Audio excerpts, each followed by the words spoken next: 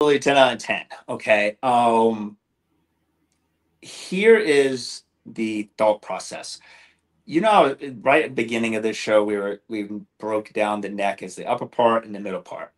Now, the upper part's the issue that sends the signals. Now, a lot of times the root issue is that we get too stiff in the lower part, which spondylosis means uh, kind of arthritis at the facet joints, typically, or zygapophyseal joints, um, or uncovertebral joints, uh, typically C4 to C6 area. So that area, when you when it gets really stiff, because of what may be the cause, then it puts too much strain on the segments above it to compensate, right? It, it's working. Right. So the question is, is can spondylosis result in dizziness from a cervical origin? It can through the compensatory strategies that do occur. Uh, there are some research on the uh, Ruffini corpuscles, which are, are deep in the uh, in the vertebrae, that could be f- causing dizziness, but that's just pathophysiology stuff. So just itself, it could, yeah, in, Yeah. in some cases.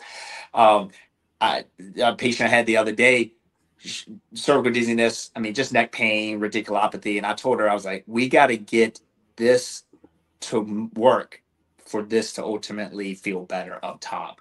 Um, Right. And quite frankly, that is one of the strategies I help improve get movement at, between your C4, C, uh, C6 levels. Um, that is one of the additional strategies that we do when people are just getting suboccipital stuff and it's just not hitting it there.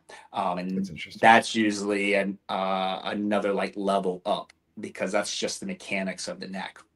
So, so you're So- actually saying that the PT, and I kind of asked this question before, but I feel like this one definitely ans- answered the question, which was we don't have to just go to a chiropractor to, to help get movement in our vertebrae, in our cervical vertebrae. Like that's that's stuff that you're going to want to get a little bit of that normal movement. Not that it's going to always stay curved or like the the tech neck or the spondylosis where it's you know maybe arthritic, but that's going to be part of what you're looking at. Is is that normal function? Normal That's what we want to achieve. Yeah, most of us want to achieve that. I, Yeah, I okay. kind of have this thing I call uh, the looking up initiative, and and basically it's just uh, it's a concept of when we look up, we because we don't look at the stars, we're not looking up anymore, we're all looking down. But we want us when you look up. My feel it to heal is like I want it to feel like it hinges in the middle of your neck.